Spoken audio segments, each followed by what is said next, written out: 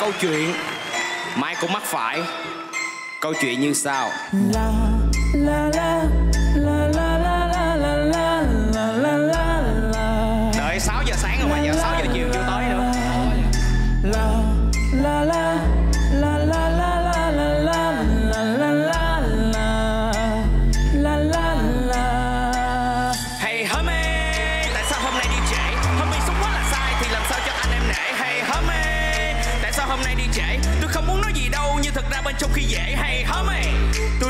Mệt mỏi rồi homie Nếu như trễ lần nữa thì đi đây.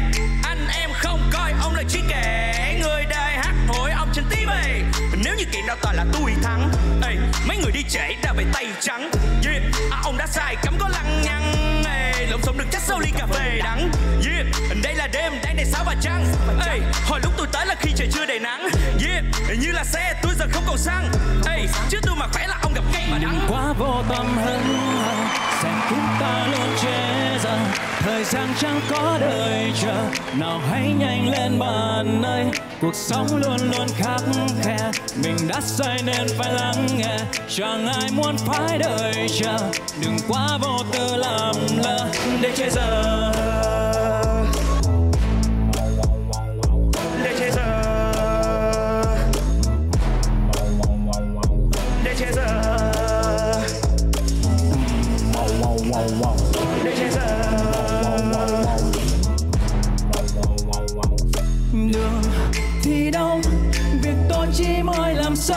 mà sắp đến rồi sắp tới rồi.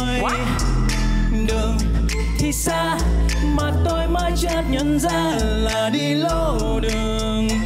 Sắp đến rồi. Ông đang nơi đâu? Bao lâu ông ra? Anh em xung quanh kêu nhanh lên nha. Ông ở nơi đấy, hơi xa nơi ông. Cho nên khi đi, ông đang đi nhắn. Alo ông ơi, chơi tôi hay sao? Anh em đang đây, ông nhanh về nha chưa ra? Anh em kêu ông đi luôn đi nha. Yeah. đường thì đông việc tôi chỉ mới làm xong mà sắp đến rồi. Sắp tới rồi. Đường thì xa mà tôi mới chợt nhận ra là đi lâu đường. Sắp đến rồi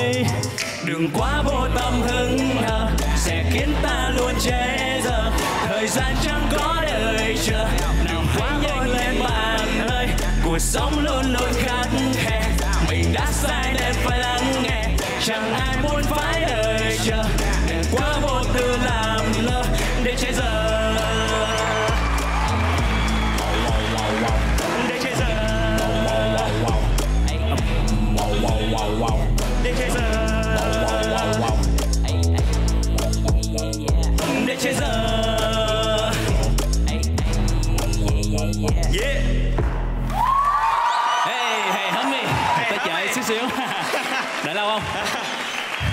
Cửa luôn rồi Vậy Lâu quá quán đóng cửa luôn rồi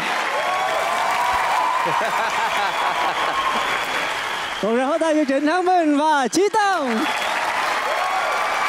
Và bây giờ chúng ta hãy cùng nhau đến với cảm nhận sự chia sẻ của ban giám khảo. Xin mời Thảo Trang. Chí Tâm là Trân được biết là bạn là diễn viên Dạ. à, Hồi giờ có đi hát không? Dạ chưa Chưa cái, Dạ. cái chương trình này mới lần đầu tiên hát hả? Dạ đúng rồi Mà dữ dằn gì đó hả? Rồi à, cái cái bài hát này là, là phần rap là là ai viết? Dạ phần rap ờ, là em viết Ngạc nhiên chưa?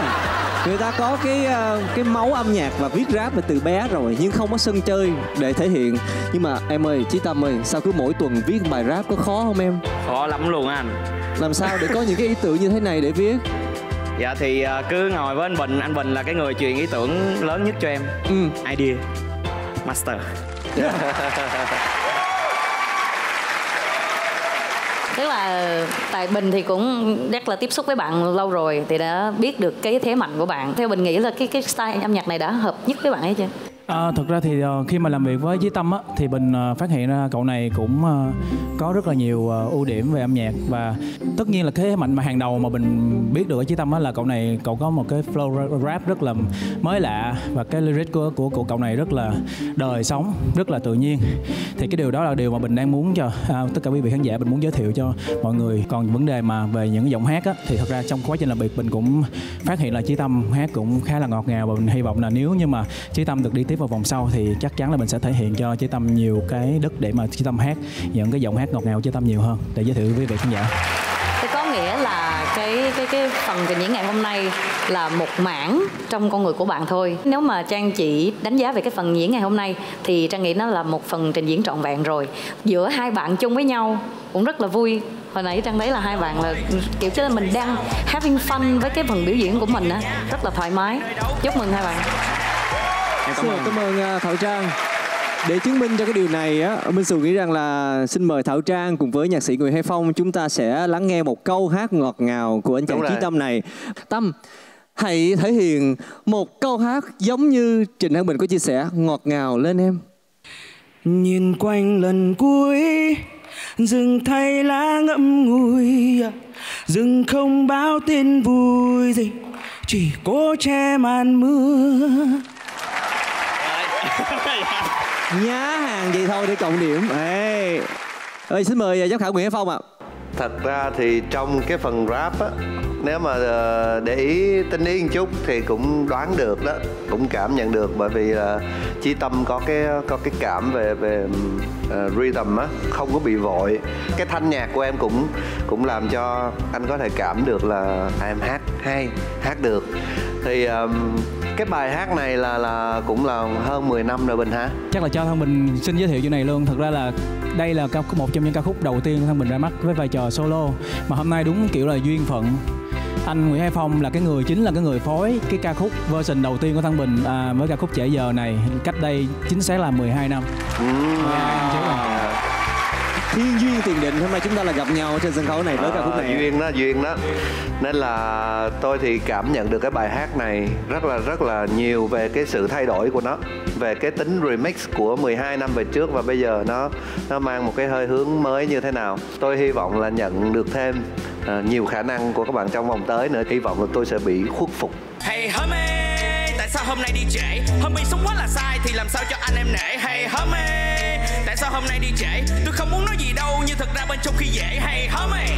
Tôi đã quá mệt mỏi rồi homie. Dạ, Xin được cảm ơn giám khảo Nguyễn Hải Phong. Không biết là giám khảo Huy Tuấn ngay bây giờ anh muốn nói điều gì với uh, Chí Tâm ạ? Cái phần uh, rap thì tôi cũng chứng kiến rồi. Ừ. Tài năng của bạn ấy tôi cũng biết rồi.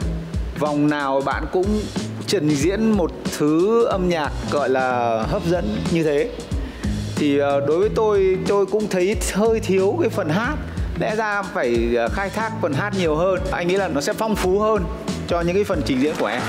Yeah, Xin được cảm ơn ban giám khảo. Và ngày hôm nay xin được mời ban giám khảo chúng ta sẽ cho những số điểm dành cho cặp đôi này.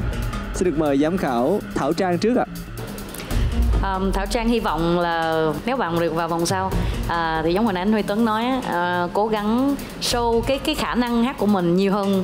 Thì hôm nay à, số điểm của Trang dành cho tiết mục này là 9,75 9,75 được mời giám khảo Huy Tuấn. Thì đấy thì tôi thì tôi nghĩ là uh, để cho nó phong phú hơn thì hôm nay tôi sẽ trừ một tí điểm. 9,75 Trời ơi. Yeah anh làm bọn em giật cả mình. Dạ xin mời giám khảo nguyễn hải phong. Số điểm của tôi cho chí tâm là 9,75 yeah! Xin được chúc mừng cho trịnh thanh bình và chí tâm